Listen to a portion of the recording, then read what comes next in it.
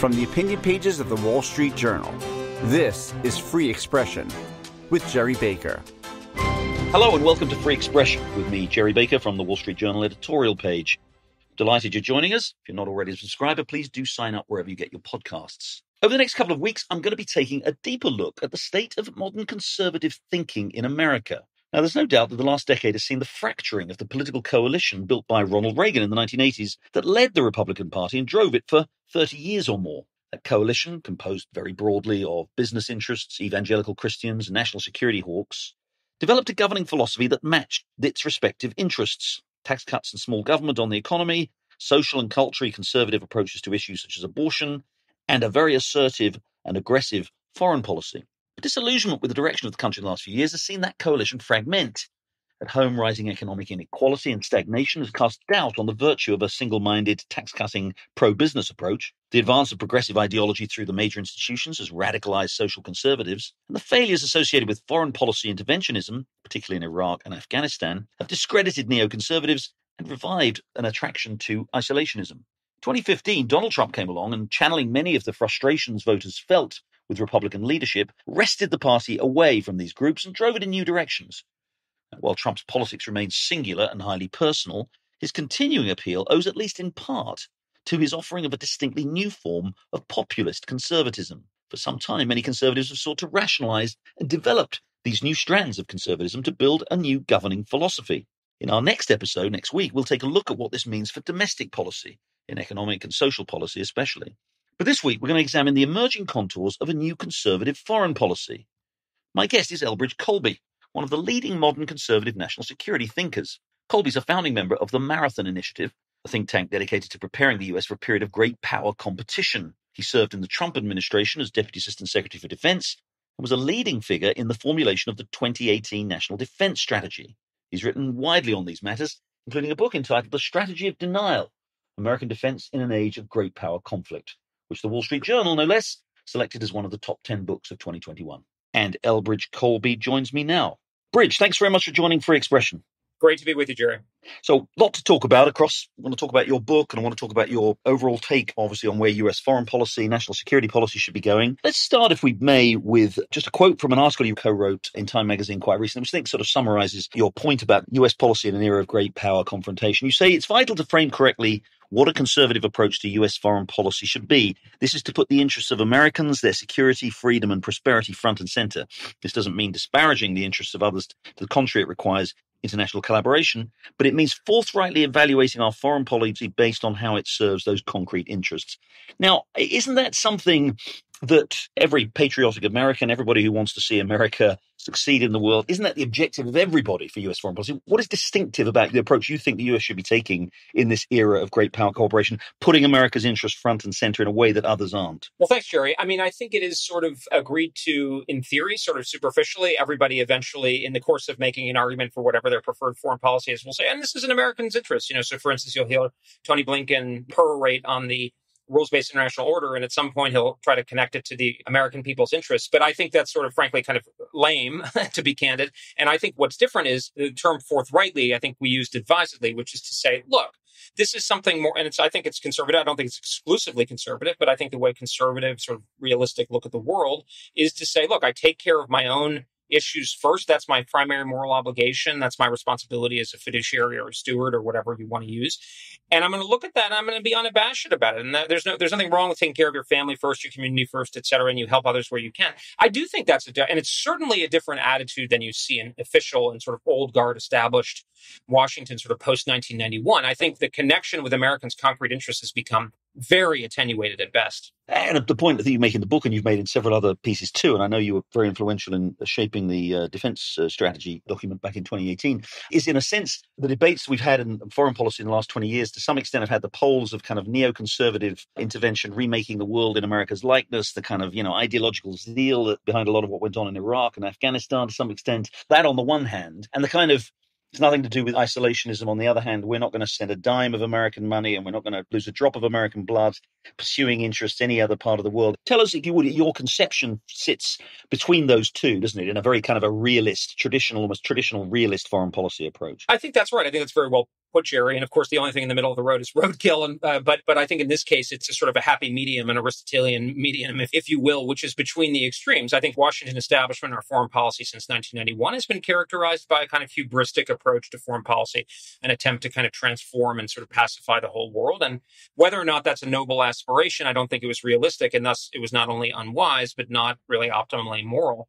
But at the same time, I think there's you know this sort of the old isolationism. And I think that term can be used as a slur sometimes, but you know, so we'll use the term kind of strong restraint, basically pull back from the world. I, I, do think that's naive. I think it's actually closer to libertarianism, which is to say, get the heavy hand of the state or whatever, the power out of things, and things will naturally equilibrate in, in a positive way. And I just don't think that's how human nature works. I don't think that's how societies work. So I think, as you say, it's this middle course that says, look, grounded always in concretely. Let's let's try to be concrete and direct and in ways that are incredibly communicable to the American people.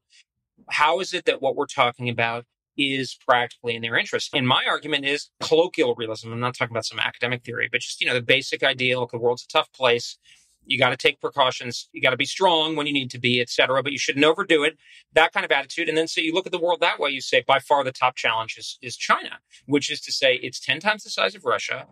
I mean, it's got an increasingly aggressive leader, so we don't even need to speculate about that. And the stakes are, are huge. And I think this, Gerry is where the rubber meets the road and where the argument is often kind of falls, you know, across the, the chasm a little bit is I think Americans' concrete interests are really, really, really going to be determined by who controls Asia. I mean, it sounds archaic, but I think that's ultimately what the Chinese are trying to pursue in the sense of a secure economic sphere. The stakes here are economic. If the Chinese do that, you can bet they are going to make our lives here in the United States and others in our allied countries a lot worse. Because why? They're going to make their country the top economy, the top universities, the top technology companies, the top military, the top source of information and news and media and opinion, et cetera. And that's going to be very bad for Americans. Doesn't mean we need to land on the shores of Fujian province and liberate China. I hate communism, but it doesn't mean we need to change their government. It does mean we need a balance of power. We need a situation in which Americans' freedoms and economic prosperity are secure from that kind of hegemonic influence and ultimately threat. One of the few areas where we have bipartisan agreement in this country is, is on this question of China. I think most people would agree with that characterization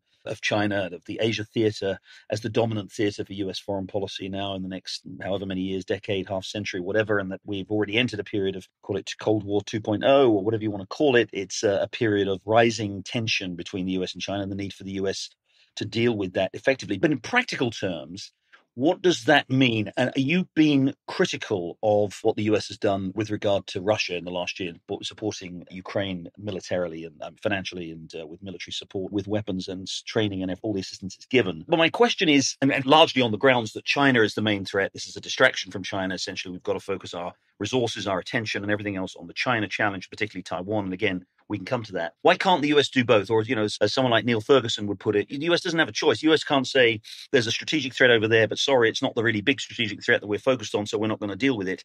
Why isn't it right for the US to deal with the threat from Russia? Why is there a binary between the two? Uh, a couple things. First of all, I think Putin's invasion of the Ukraine is an abominable act, and the Ukrainian defense of their territory is, is a just act. I think we have a, a strong interest in Ukraine's ability to resist Russian invasion, but it's not our primary interest. And my friend Niall Ferguson, for whom I have just the highest respect, actually put it very well in his interview with Peter Robinson. He said we can't choose, but then immediately after, he said, well, as Bridge points out, we don't have enough to go around.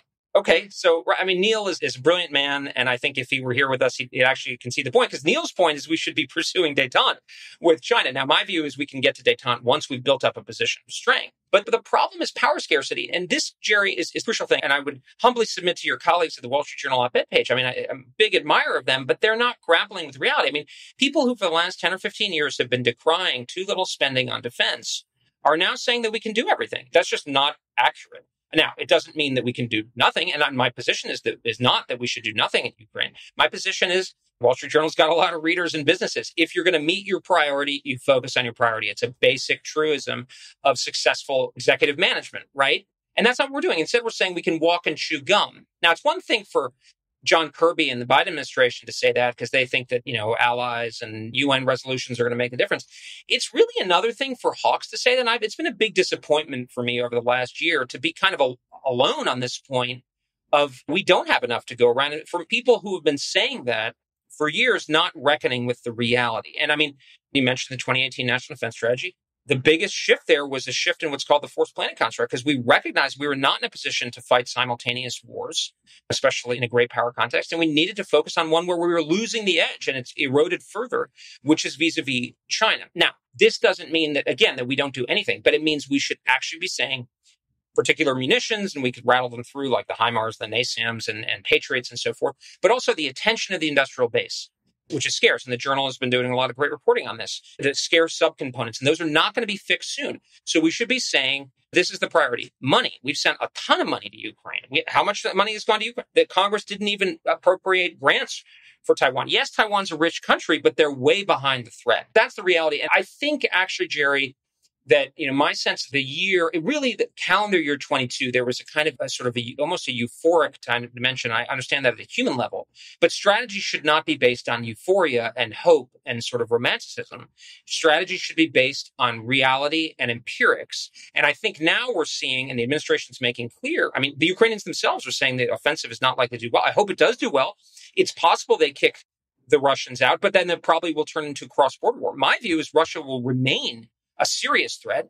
But China's already talking about 2027. And a lot of these people, especially on the right, including your colleagues at the journal op, op-ed page, are saying, oh, things are getting better. But, you know, on the other side of the page, they're saying, well, we can only build 1.2 submarines until 2028, or we can't build more than two frigates, et cetera. So it's time, time, time. And my view is let's get really real about this and prioritize accordingly. I don't speak for the journal editorial page, but let me say what I think they would say in, in their defense. First of all, it's perfectly consistent to say yes, we need to support this Ukraine assistance to Russia on the one hand. And secondly, yes, we absolutely do need to significantly increase our defense capabilities. I don't think there's necessarily an inconsistency there. In fact, the commitments we're making to Ukraine only highlight the defense gap that we have and enhance the need for us to redouble our efforts. That's the first thing. Second point, they'd also say, and a lot of people you know very strongly support the Ukraine war would say, is it's not an either or between Ukraine and Taiwan or Russia and China. It is actually an and because Russia is as the two countries repeatedly demonstrate and declare, China's closest ally. They've committed themselves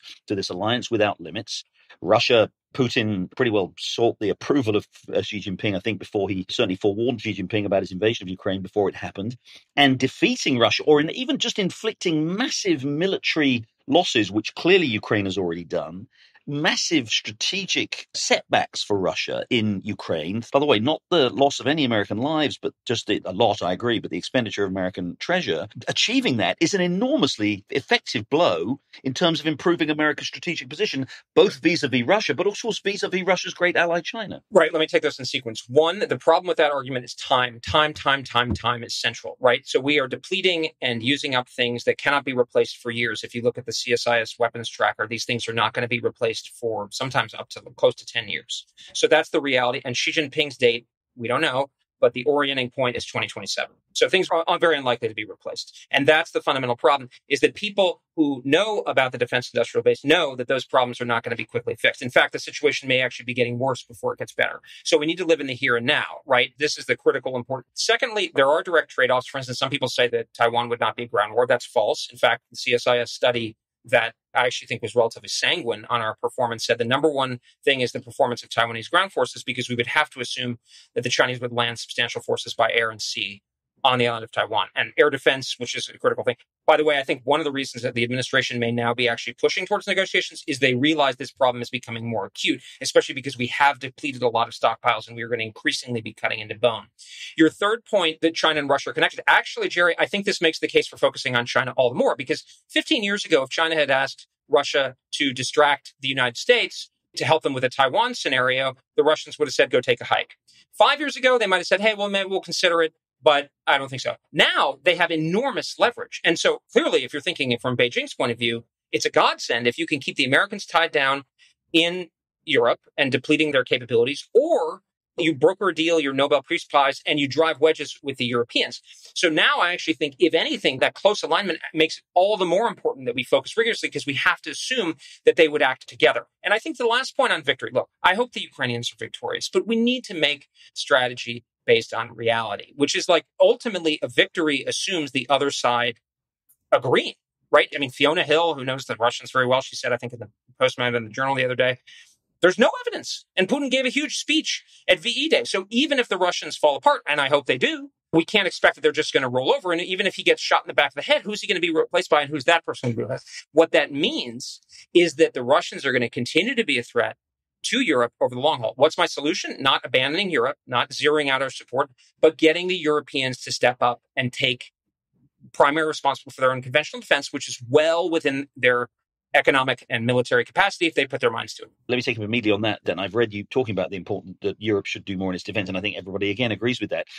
But you say time, time, time when it comes to the need to replenish US defense material that's being used in Ukraine, and that you know, it will take years probably to replenish some of those key weapon systems that we've been contributing to Ukraine. The US has been urging the Europeans to do more in their own defense for at least 50 years. It was the dominant story in NATO throughout the Cold War, and it's been the dominant story in NATO since then. We had this great turning point moment, supposedly in Germany last year, where the Ukraine war made them suddenly rethink, and yes, they all had to do more in their own defense.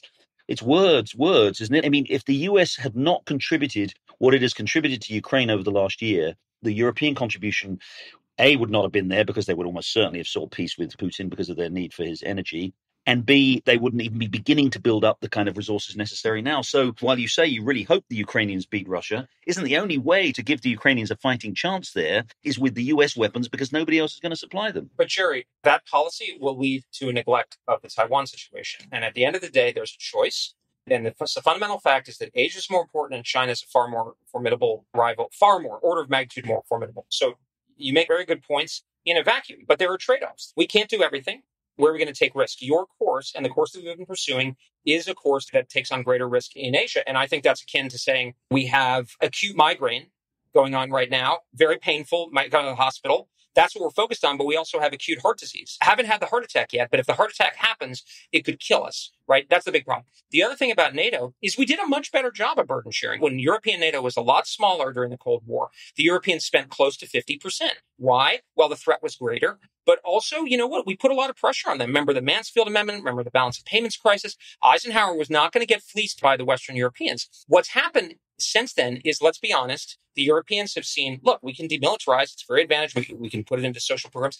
And the deal with the Americans is the Americans get to be the world leader and Madeleine Albright and George W. Bush get to say they're the indispensable nation. And so the Americans occasionally come through and ask us for more money. But until Trump, they didn't actually believe it. And I think the critical, I think it's been a major failure of this administration.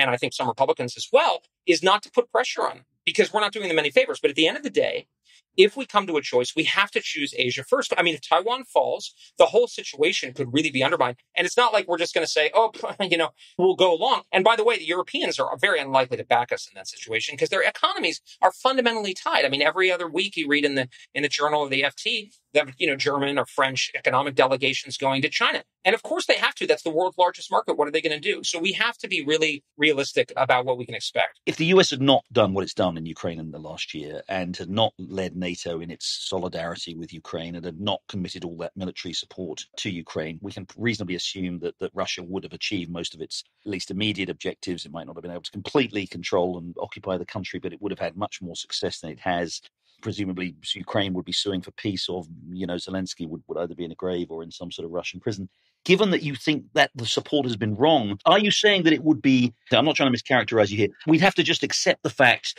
that Russia had essentially annexed Ukraine, would now be threatening other Eastern European countries, would be significantly enhanced in its strategic capabilities? We just have to accept that because Europe just doesn't matter as much as Asia. Well, no, that's not what I'm saying at all. I mean, in fact, the, Ukrainians defeated the initial Russian foray, so I disagree with your characterization of what would have happened. The Ukrainians basically on their own, based on the arming and training that had happened long before in the years since 2014, which made a lot of sense, they defeated the Russian attempt to decapitate the state.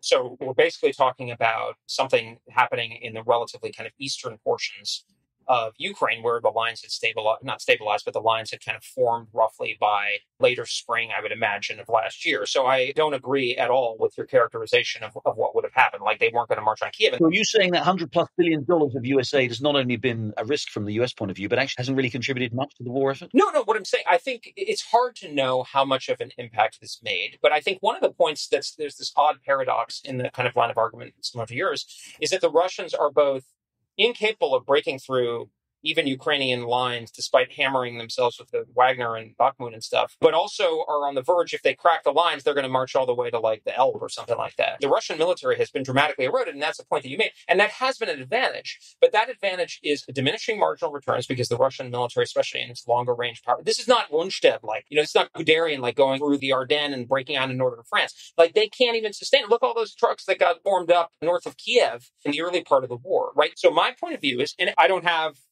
teams of analysts working for me with classified information, et cetera. I'm making my based on open sources and what I can read. So I can't give you precise. But what I would have done is I would have said we absolutely will zealously prioritize Taiwan. And if it ever comes in contrast, we're going to focus on Taiwan and we are going to put a ton of pressure on Europe, particularly Germany, to step up and do what's right. And the administration has not done that at all. So I think actually what they've done wrong is the things that you're lauding, elements of it have been positive, but it's also completely taken the air out of any sense where Europe could actually really step up because it's like, oh, the Americans are back. It's going to be the good old days. And yeah, they say they pivot to China, but it's never going to happen. That's what they actually think. We're going to take a break there. But when we come back, I'll have more with Elbridge Colby on the challenge from China and how the US should be facing it. Stay with us.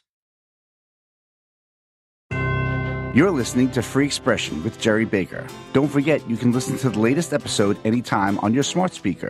Just say, play the Opinion Free Expression podcast. Now, back to Gerry Baker. I'm back with Elbridge Colby, leading conservative foreign policy commentator, and we're talking about the threat from China and how the US should be dealing with it. What should the US be doing right now with regard to Taiwan? With Taiwan is the obvious flashpoint in the US China relationship.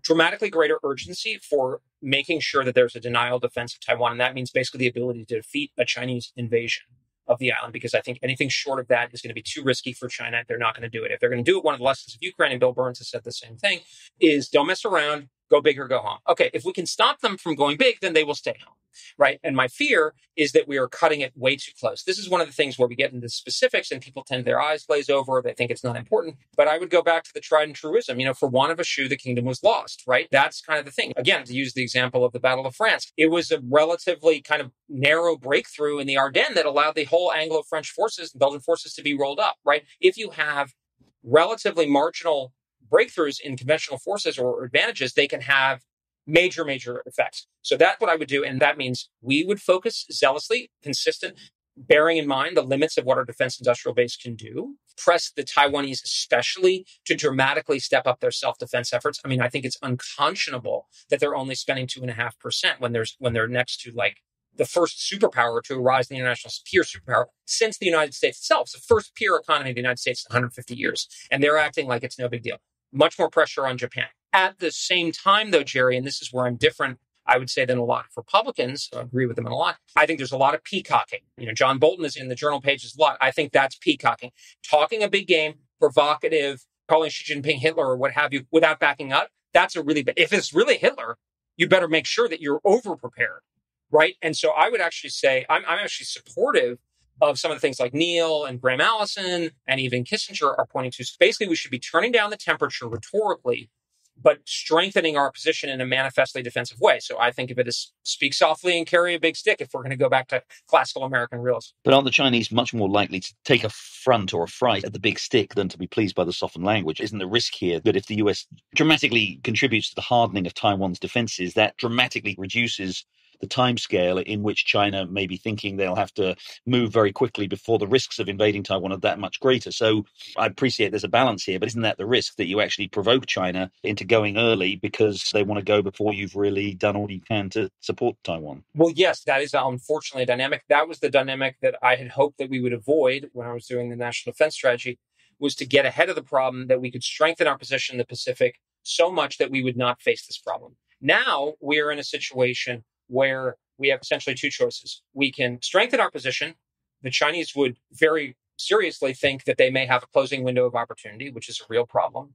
And we can try to mitigate it, but we can't solve it. The alternative is not really to do anything and then just be vulnerable to the Chinese, which I don't think is a prudent course of action. So I think the best we can do, again, is to speak softly and carry a big stick and really focus our military investments and capabilities and what we do with our allies on things that would matter for this fight. So actually, you know, I, in a lot of ways, I think AUKUS is a positive achievement, but there's been a lot of attention. It's over the long haul. I actually think we need things that are much more in the next kind of five to 10 years that are just going to make it very difficult for the Chinese to effectuate this. And I think, you know, my message to the Chinese is to say, look, A, This is not about dismembering China. I think some of the hot rhetoric on the CCP is ill advised, and I hate communism, but that's not the point. Like, we don't want to turn this any more into an existential cage match than we absolutely have to. And the second point is look, if you're China, this is a cosmic roll of the dice. There are potentially enormous benefits involved. Absolutely. That is true. But you are also going to take on the Americans. And if we are capable and resolute and focused, there's a big chance that they could fail. And that's going to go very badly for China and certainly the Chinese leadership. So there, there are big downsides, but this test is not over yet.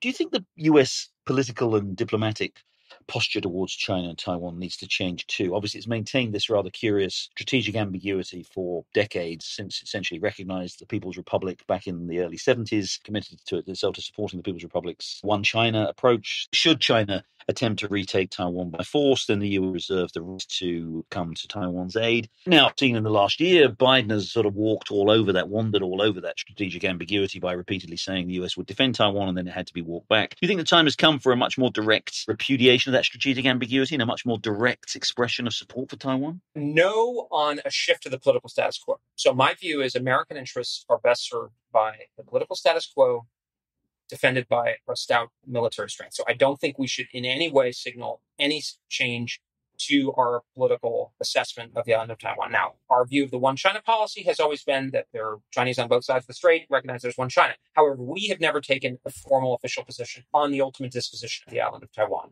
That's important to maintain. I think we should stick to that position. I think that's part of one of the steps for war avoidance is to try to communicate to the Chinese that this remains a live issue. One of the things that might precipitate them to war is if they say, look, we're never going to resolve this peacefully. And we should leave that door open. I think we want a future Deng Xiaoping to come back and say, this is something that can be future generations can resolve. Xi Jinping was too hot. He was too aggressive. He causes too many problems, like in the way that, you know, after Khrushchev, at some sense, Brezhnev and detente, like that kind of thing is what we want. I think what I would say is I support strategic ambiguity, capital S, capital A, which is a political arrangement that basically has its purposes. But small S, C, strategic clarity. And I believe we're already there, which is that our military and our allied militaries understand that they should be prepared to fight to maintain the status quo. But I think the last thing we should be doing, and for instance, you know, just Bolton again, Bolton was meeting with pro independence groups on Taiwan. That is incredibly ill advised because it's not in American interests. It's highly provocative to the Chinese. And like, I'm not saying that they're morally right, but if you really want to avoid a war, we should be judicious in where we take the provocations. And those provocations should be ones designed to strengthen our stick, our military, our defenses. And the other thing about the Chinese, yes, they're going to complain about it. But at the end of the day, the military that we're building is manifestly defensive. It's clearly designed to defend the first island chain perimeter. Now, you could, the Chinese can say what they want, but this is not a military designed to land on the coast of Fujian and force the CCP out of power or that's going to, you know, free Tibet. It's clearly not that. So at the end of the day, they're going to have their rhetoric, but they can see that they are not fundamentally threatened by it. What message are we sending to the, government and the people of Taiwan in this? Again, with your approach, you're sort of stepping up of Taiwan's defenses in the way that you describe, diplomatically, carefully, but without provoking the Chinese in the ways that you talk about. But are we not essentially, in doing this, shifting further in this direction that you favor, giving the Taiwanese an implicit guarantee engaging in a military guarantee that if they were to be attacked, then not only do they obviously have US missile systems and US warplanes and everything else, but actually the full capabilities of the US Pacific Command would be brought to bear to help them defend themselves. Aren't we essentially sending them that message if we go down this route? It's sort of emboldening them, you mean? Yeah. And again, pushing us more away from strategic ambiguity because it gives us a moral obligation. I mean, the more the Taiwanese, you know, you defend yourselves and then in greater the moral obligation it places on us, surely, to come to their defense if and when they are attacked. Well, just on the specifics, I mean, I think if they declare independence, they should understand that's the most likely way to get us not to come to their defense. Like, we'll make our decision based on what parameters, but they should not declare independence, in my view, or get close to it. And actually, in, in credit to President Tsai and her administration, they have not done that. Now, I don't know about future DPP administrations, but I think that's important that we communicate that we are not supporting Taiwan independence. On the other hand, that's more of a strategic issue, which is look, ambiguity is most tenable when there's a lopsided military balance, right? Because we could have this kind of Kissingerian, very confusing and Byzantine kind of arrangement. The Chinese would barely leave port before they would all be sunk until quite recently, right? Like we could beat them with one hand tied behind the back and like two of our fingers tied to our hands, right? That was the reality. That has fundamentally changed. In that situation, ambiguity is very dangerous because ambiguity basically says it gives you more flexibility notionally as the guarantor, but it also says to the potential aggressor, well, I can more reasonably calculate they won't come, especially if the costs are high. this half pregnant idea. And this is why you've seen, like in the Cold War, why we have gone over time in these kinds of situations to sharp lines. So my view is it's worth defending Taiwan. It's natural. It's critical in the first island chain. It plays to our advantages as a military and society power, which is aerospace and maritime and high technology power. On the other hand, Gerry, if we continue in the kind of attitude where people think we can do everything all over the place, we're moving into the position where we may not be able to substantiate that commitment. And in that context, if we go back to the first principles of what this is for, we cannot break our sphere in the defense of Taiwan. I mean, my favorite example of this is we all love Churchill, right? Now, Churchill wanted to send more Spitfires and Hurricanes at the French request in the Battle of France in 1940. But the RAF said, if you do that, we can't defend the home islands. We risk getting in that situation, both because of our own, I would say, hubris and unwillingness to reckon with reality, but also because of the Taiwanese lassitude. I mean, they should look like Israel, or at minimum Finland. And that's not where they are. And that's very, very, very dangerous. Do you think the American people would, if necessary, support sending their sons and daughters to fight for, and again, if necessary, die for the defense of Taiwan? Given everything that we've seen with regard to misadventures overseas in the last 20 years, where I entirely agree with you on the mistakes that have been made, given what that's done to the way in which Americans view foreign engagements, is Taiwan such a vital, vital part of American strategic defense that American people would support military action, which could result in the loss of many, many, many American lives? I don't know, Gerry. And people sometimes say, oh, you know, if you don't support Ukraine, are you sure they're going to support Taiwan? And I say, no, I don't know. And that's why I'm out there making this, this case all the time, because the best thing is what we did in the Cold War in Europe, which was to deter the war. And nobody knows. I mean, Ronald Reagan and others said afterwards that we never would have used nuclear weapons first, but it was sufficiently effective to keep the Soviets from invading Western Europe. Like, did it make sense to lose American cities to save West Germany and Denmark? Not really, but it was a sufficiently convincing strategy to deter them. That is what we want. And I think in a way, it may not really be up to us because I think the Chinese are already anticipating that we would come to Taiwan's defense. And so they're likely to attack us preemptively and also our allies. And this is the key thing. It's not about Taiwan. If it were just about Taiwan, we might have a different strategy. It's about the whole position in Asia. And that's not like some geopolitical playing a game of risk or something. That's like who's the master of the world's largest economic area? Because if the Chinese defeat us in the Western Pacific, well, what's the Philippines going to do? Are Americans more willing to defend the Philippines than Taiwan? I don't think it's like, you know, it's six of one, half dozen of the other, right? And in that context, it's going to be a lot harder to defend those situations because it's like if you've lost, pick your example, you're in a weaker position. So my view is we're best off holding the line where it is and being so strong and focused, but also restrained at the same time that the other guy never tries it. That's, Gerry, I think, kind of core message, especially to like this I, uh, walk in Shigama. Why are we taking the risk? Because like these people, Xi Jinping is manifestly preparing for war. And he is a brutal and ruthless guy who has purged his whole opposition. The China hands would say, well, he thinks that we're strangling him. Yes, he thinks he's acting defensively. That is like the worst point. It's like not like we could just like throw him a couple of coins and he'd be satisfied. No, no, no. He thinks we're strangling him. And he thinks this is existential. So shouldn't you be like not even getting close to the edge of the cliff? Eh, you know, and people, oh, well, we'll, we'll give the Ukrainians this and then we'll bomb Iran and its nuclear program and then we'll do this new stuff in Venezuela. Are you crazy? like really, like speaking very frankly, we are really on the potential verge. Like Russia is not going to get to the English channel, but China is this pure superpower. Shouldn't we act like it? Setting aside Taiwan for the moment, the broader US China competition, the tension there, how do you see that? Again, I, I, agree, Taiwan is obviously the most important flashpoint, and maybe if we do what you're describing, we can avoid outright conflict or confrontation with China. But the larger strategic challenge of a rising China. You've described it very well. Much greater military capability than it had 30 years ago. Extraordinary economic growth. It's by, you know, many measures as big as the US. May get larger. Classic rising power, stable power situation. One particular question to you is how does the US navigate that given the economic integration of those two countries? I'm sorry to be very prolix, but when US companies left Russia after the invasion of Ukraine, it was a minor, minor blip in their finances, right? That my favorite statistic is Starbucks, I think, had 200 stores in Russia.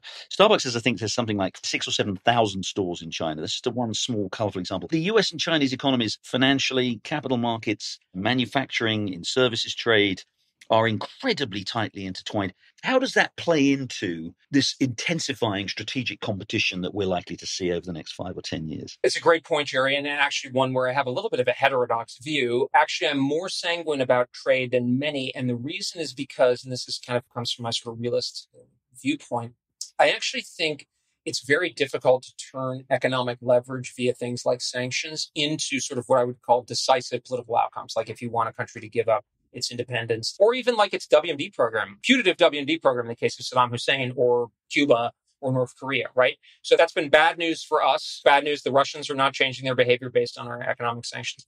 But it's also good news in the sense that I actually think China will find it very difficult to bring other countries to its will in a really meaningful way through economic sanctions. We're already seeing, and the journal has been reporting a lot about this very ably over the last few years, where they're having difficulties. You know, for instance, like BRI projects, and there's resistance, Ecuador, even places like Kenya and Sri Lanka. By the way, they seem to want to make money off of these things. You know, look at their lending in the development context where they're expecting to get paid back. So that's the good news. Bad news is that makes the military balance all the more salient because it becomes more attractive. But if we get the military balance right, I actually think that we can have a fair degree of economic engagement. Now, I would welcome and defer to my good friend Oren Cass and others if they were saying we should decouple for other reasons. Like, that's totally fine.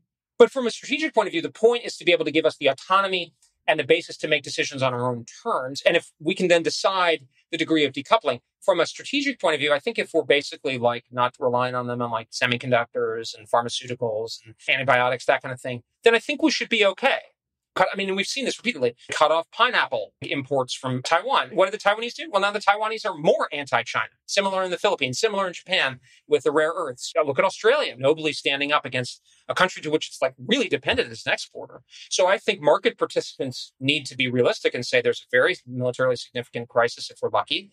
God forbid. So you take your risk. You should put a serious risk premium. And by the way, you don't even need to worry about that because apparently the Chinese are like preventing you from getting accurate information. So final question, Bridge, but I want to just turn it quickly to the politics. You served in the Trump administration at the Pentagon. We're seeing a, again a lively internal debate within the Republican Party, and we've got Donald Trump and other candidates out there. Trump looking at the moment the, the favored candidate. I don't want you to ask you to endorse a particular candidate because I'm sure you're not going to do that anyway. But do you think, from your experience of serving in the Trump administration, what you've seen of him and what you've seen of him since then and kind of the things he's saying and doing about China and Russia and elsewhere. Do you think that the kind of approach that you favor, that Trump is essentially on side with that and that, that Trump is the most likely of the Republican field to actually execute that kind of a, you know, significantly different strategic approach in the next four years? Well, look, I'll say this. I mean, I think President Trump, I think the most important legacy on these kinds of things that he'll leave is the shift on China that needed to happen. And there was rhetoric about it before, but especially the kind of recognizing that China was a rival and being willing to be confrontational. That is, in a century, I think that will be written about in, in a meaningful way. I mean, I can't speak for President Trump or any of the other candidates. What I do think is the next person is going to be president of the United States is going to be president in the year 2027. And that person had better be ready. And I don't think that the right strategy is going to be one that hopes for the best and tries to do the freedom agenda again.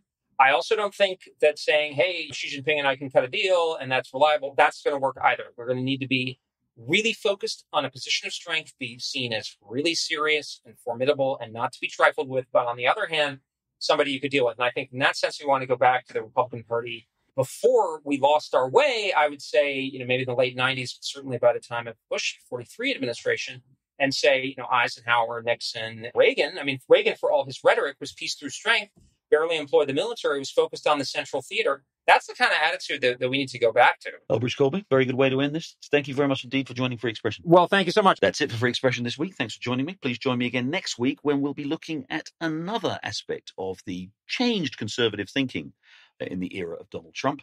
We'll be looking at domestic economic and social policy. In the meantime, thanks very much for joining us and goodbye.